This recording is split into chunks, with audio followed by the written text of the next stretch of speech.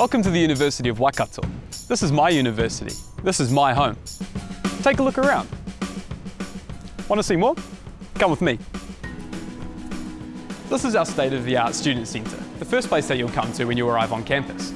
Staff over here will help to answer any questions you might have about the university, and our friendly international support team will help to make you feel right at home. We've got computers and libraries upstairs, and we've got meeting rooms on every floor to help you through those group assignments. If you get hungry, or you might want a coffee to drink to get one through one of those late night study sessions, we have a cafe right here too.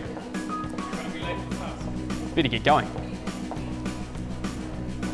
I'm studying a business degree here at Waikato, and this is one of my classes. The learning style here focuses on what you need to know and be able to apply when you enter the workforce. I get to work on a range of projects for real life companies, and I'm about to begin an internship where I get to apply what I've learned here in class in real life. This is the Village Green. It's the social hub of our campus. Isn't it nice with the lake over here? This is the place to come in between your lectures to meet up with your friends for a coffee or a bit of a meal. Otherwise, find a spot among the trees to go and complete your assignments. There's always something going on here, whether it be food, free activities, cultural performances or bands.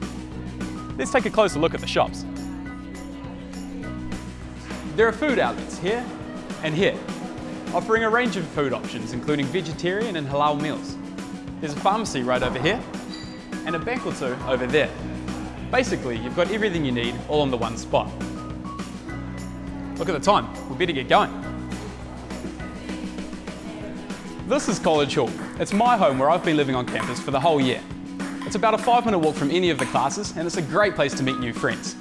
This here is the common room, where you can come and play games, watch something in the projector room, or just meet up for a bit of a chat with friends. The hall is fully catered, meaning you get breakfast, lunch and dinner seven days a week. There are also a range of accommodation options, including all male and all female floors. So what are you waiting for? Make the University of Waikato your home. I'll see you soon.